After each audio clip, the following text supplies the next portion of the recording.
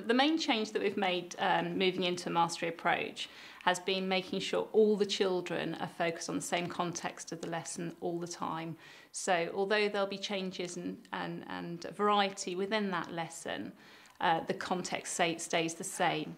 TMA, good as gold. Let me see your fingers roll the sixes. Yeah, six. The purpose of me getting children to chant, and we call that rolling numbers, is that I wanted the children to have some security before we started the lesson. And TMA says 66. So by chanting, it opens the door for all the children to start accessing the learning immediately. We can do our sevens too. In year three, we've really, really focused on the children's times tables.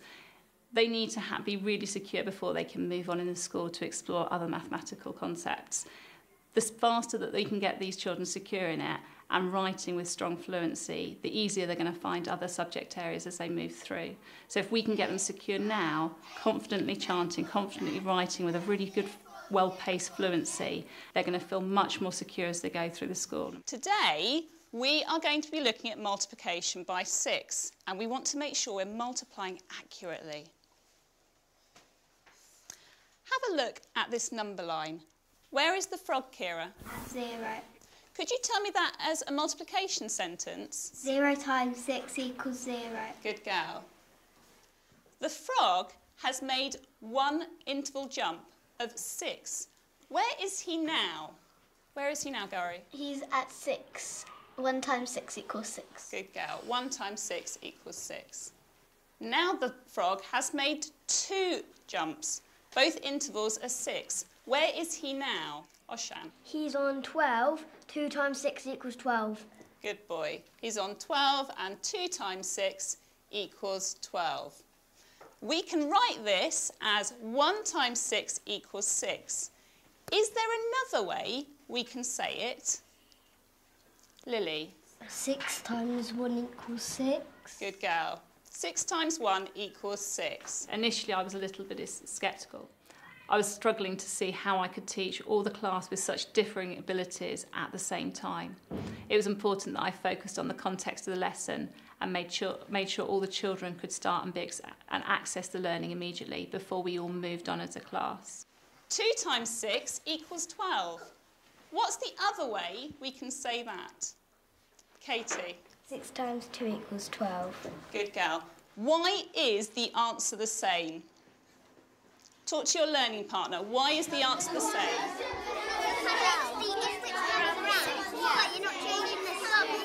Each and it's also six. So the same number. Six. Yeah. Okay, and three, two, one. Why is the answer the same, Myra? Because if you do like two times six is and is twelve. Uh, twelve times six is So we had six times two is 12. How else could we say that? um two times six is twelve. Good girl, well done. Can we remember the rule for that? What's it called? You just have to swap the numbers around. And can you remember the law that we said that that was called? Commutative law. Good gal, it's called commutative law. Well done. Okay, let's look at the next slide. We started at 0 times 6. We're going to say it all together. Okay, so eyes this way. And we're going to work through our 6 times table. 0 times 6 is 0. 1 times 6 is 6. 2 times 6 is 12. 3 times 6 is 18. 4 times 6 is 24.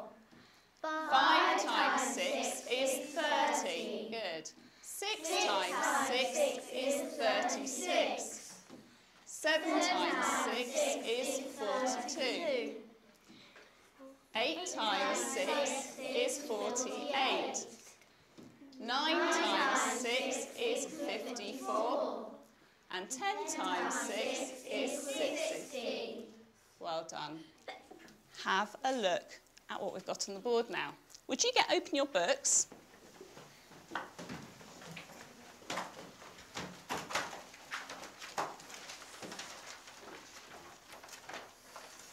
Well done. What I'd like you to do is complete your six times table, just like I've done on the board, putting in the full answers. Okay, off you go. You've got two minutes.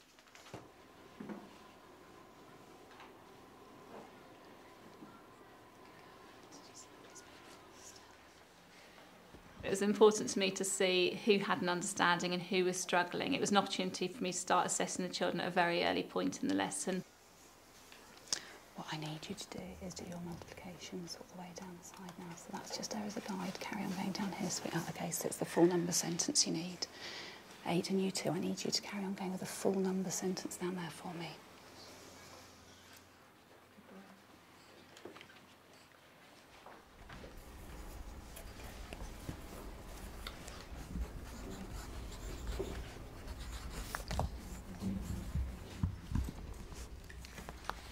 Okay, if you finish that, write down what you notice about the six times table.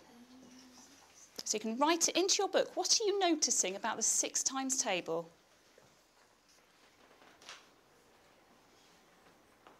If you can spot a pattern, write in what you can see.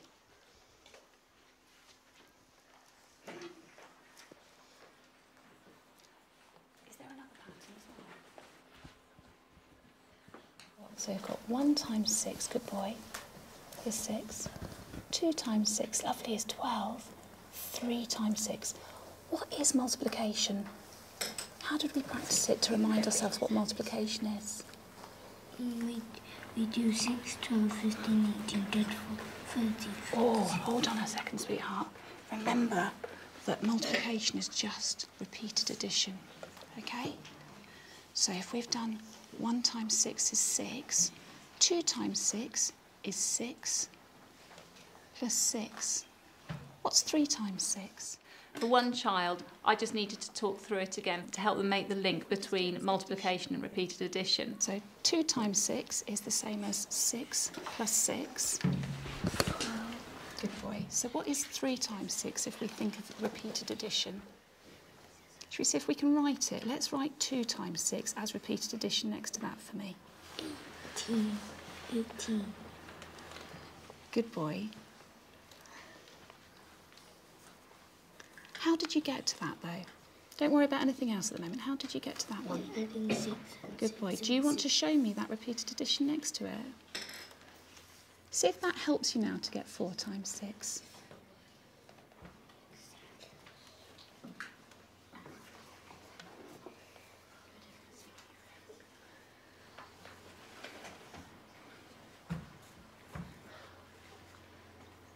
What that answer be?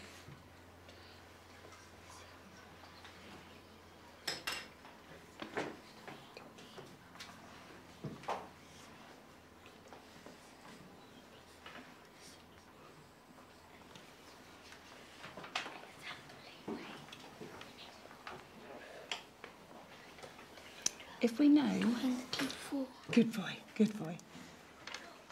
And just to help you out, just to check, what do you notice? How much more is 24 from 18? 6. Good boy. So now you can carry on doing those. And just remember, it's just repeated addition each time. Good boy. When he realised that, he then was able to continue with the lesson very securely. Can I have everyone's eyes on the board so we can go through the six times table together? And at the end, let's see what we've noticed about the six times table. So eyes on here. Could we start with Emily? Could you start off for us? We're going to read in full number sentences. 1 times 6 e- equals 6. In the first part of the lesson, we focused on what we notice with the multiples of six. 3 times 6 equals 18. 4 times 6 equals 24. It was important for them to make sure they understood that there's pattern in our multiples. equals 36. And then we'll go to Ada. 7 times 6 equals 32. 42. Good girl. 8 times 6 equals 48. And Cleo. 9 times 6 equals 54. And can you finish us off, Vikram? 10 times 6 equals 60. What did you notice about the six times table. What did you find? Vikram, what did you notice? They were all in the two times tables. Okay. What did you notice about that if they were in the two times table? How do you know? It's also really supported my EAL children. Um, some children came have, not having a strong grasp of the English language. There's not too many elements in the mathematical language to use. So by constantly practicing over and over again the language, it's really strengthened their understanding of what they're explaining too. How did you know straight away that those are in the two times table? Because six was in the two times table too. Good two, boy. four, six. Okay, so what are you identifying about each number? The last, there's like the last part is has got a two or an eight or a four or sometimes a zero too. Good boy. What's Vikram saying then? Ada, what's Vikram saying? He's saying that the last uh, digit of, for an example, the number 24, it the, the number 4 is uh, in the two times tables. And it Can you identify something else about the numbers that Vikram said? Two, four, six, eight, and zero.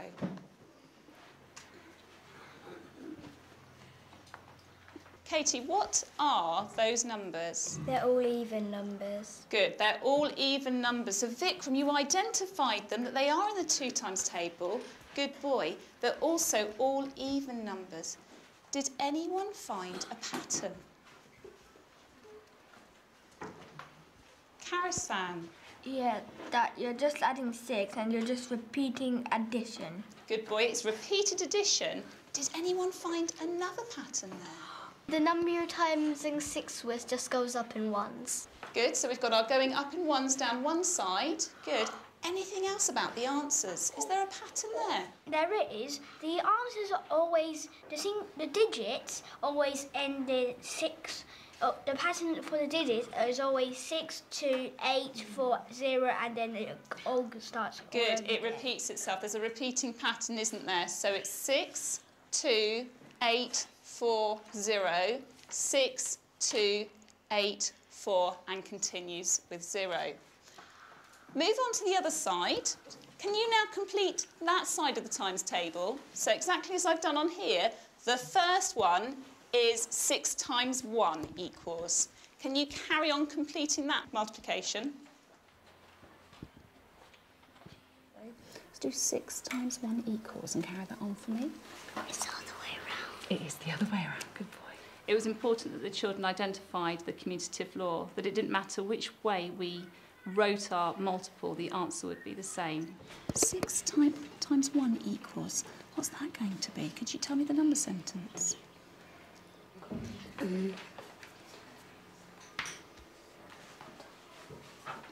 Remember our commutative law? When our numbers, it doesn't matter which way up they are with multiplication, the answer's still the same. So we have 1 times 6 equals 6.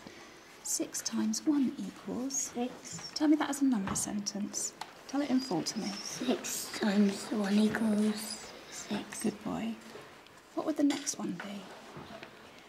Two, like Make sure it's the right way around.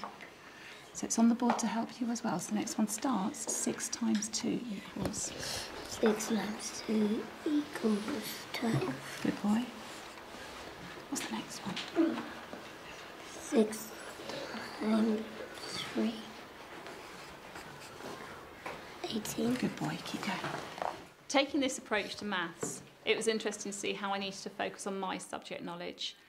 As you're looking at what that next step is for the children, they are baby steps. It's like peeling an onion, what's the next layer, and really looking at what is the next layer.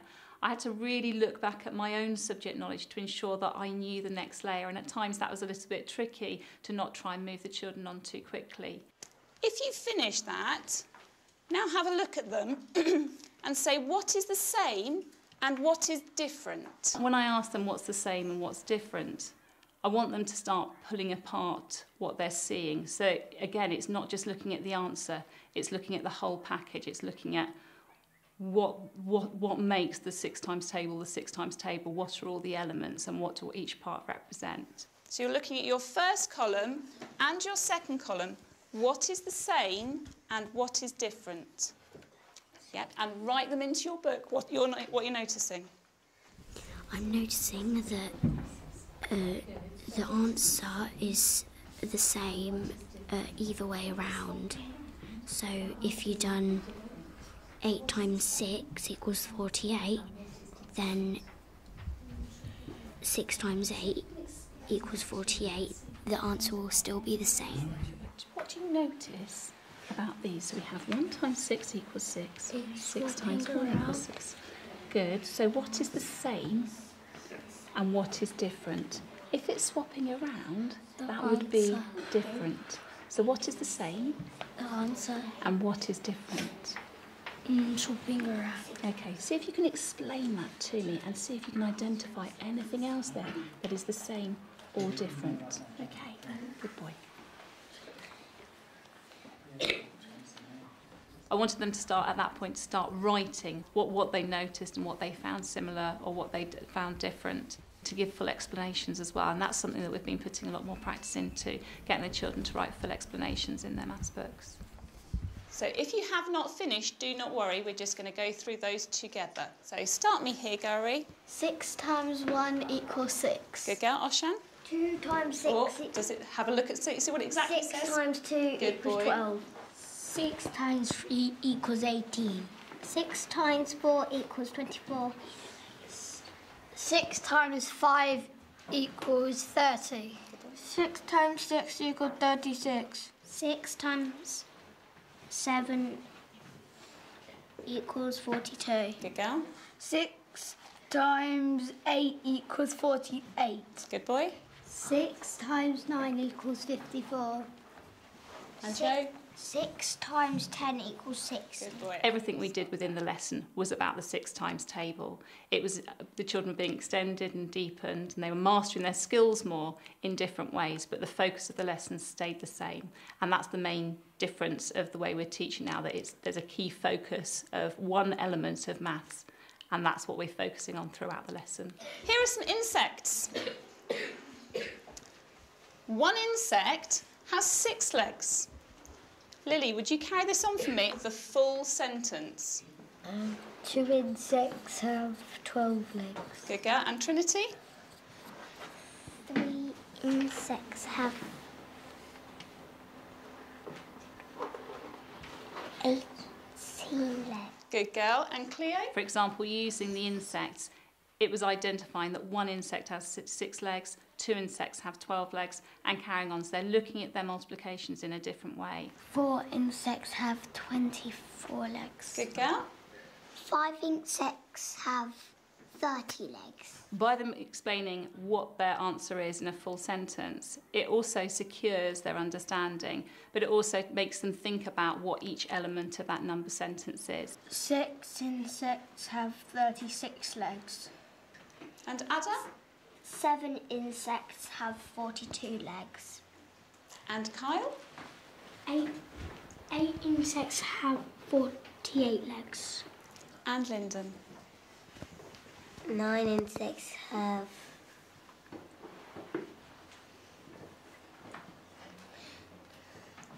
fifty-four legs. Good boy.